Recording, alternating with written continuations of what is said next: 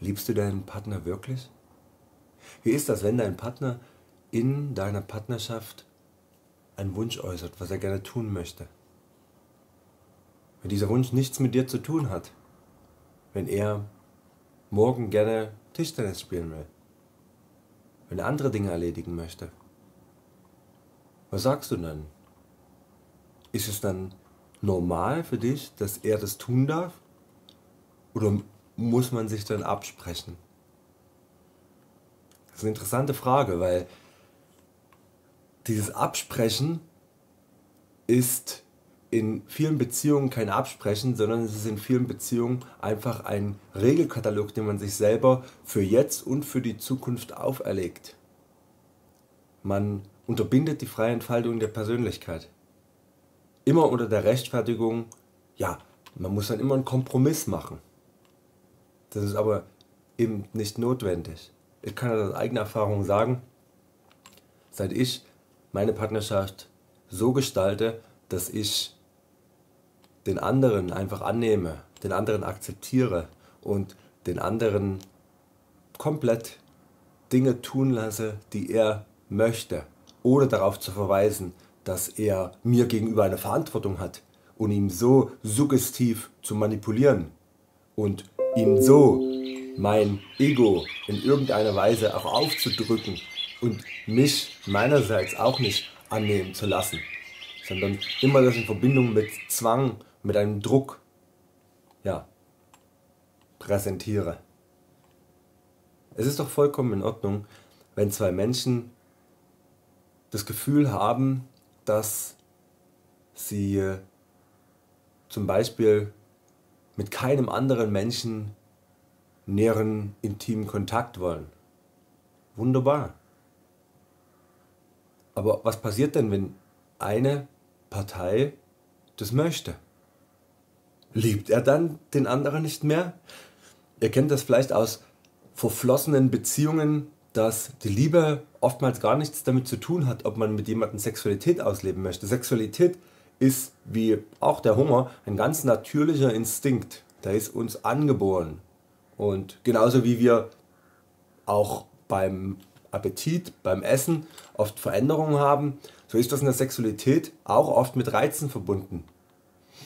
Und entsprechend ist dann die Frage, ob wenn du deinem Partner das dann verwehrst, ob das dann wirklich Liebe ist.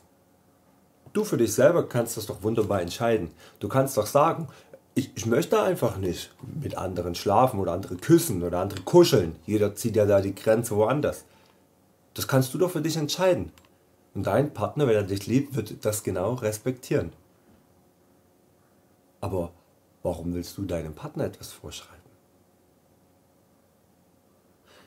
Wenn beide Menschen nicht das Gefühl haben, dass sie mit einem anderen Menschen intimen Kontakt möchten, dann ist das in dem Moment so. Und dann können die beiden das in dem Moment auch so sagen. Aber es ist doch vermessen zu sagen, ich weiß jetzt in dem Moment, was in 10 Jahren sein wird oder was in 30 Jahren sein wird. Und das Problem, was dann viele Partnerschaften haben und vor dem sie stehen, ist dann, wenn dann eine Partei nur einfach intimen Kontakt mit einer anderen Person möchte, dass dann die Beziehung in Frage gestellt wird, weil die Beziehung darauf fußt, dass man sich selber Regeln auferlegt hat.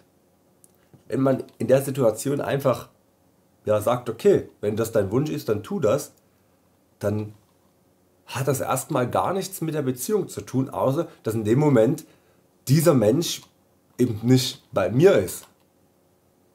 Aber die Liebe, die ist davon ja, komplett unberührt.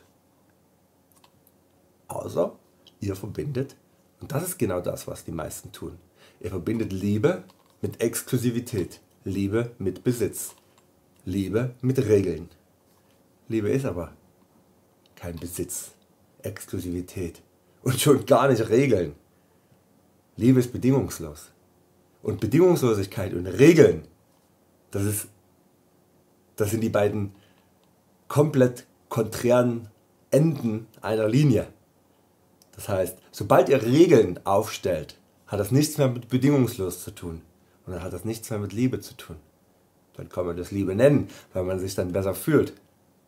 Aber es ist keine Liebe. Es ist eine, ich würde sagen, eine Zweckbeziehung. Du tust mir was Gutes, ich tu dir was Gutes. Und genau das ist die Realität häufig, wenn wir uns Beziehungen anschauen. Ich habe selber schon auch Paartherapie gemacht für zweieinhalb Jahre und das ist immer dieselbe Problematik. Und ich habe daraus gelernt, ich lebe in den Augen der meisten Menschen, die jetzt meinen YouTube-Kanal nicht kennen, eine monogame Beziehung, in dem ich mit einer Person intim bin und auch zurzeit nicht das Bedürfnis habe, mit anderen intim zu sein. Bei der Person ist das genauso, aber wir bezeichnen das nicht als monogame Beziehung. Wir bezeichnen das gar nicht. Und wenn ich in YouTube von etwas rede, dann, dann nutze ich eher den Terminus offene Liebe, um einfach zu sagen, dass da keine äh, Regeln existieren. Und aber sobald dann jemand schon wieder offene Liebe definieren will, dann bin ich dann auch schon wieder raus. Das bedeutet einfach, den Tag so anzunehmen. Den Tag mit dem Partner, ohne den Partner. Die Liebe. Die Liebe, die man gerade spürt. Ohne Regeln, ohne Exklusivität. Vielleicht kann euch, euch etwas anregen, über eure Beziehung nachzudenken. Es geht hier nicht darum, dass man mit allen möglichen Leuten schläft. Es geht darum, dass man einfach für sich seine Entscheidung treffen kann. Aber dass man auch dem Partner gewährt, seine Entscheidung zu treffen. Natürlich nur unter der Voraussetzung, dass man ihn liebt.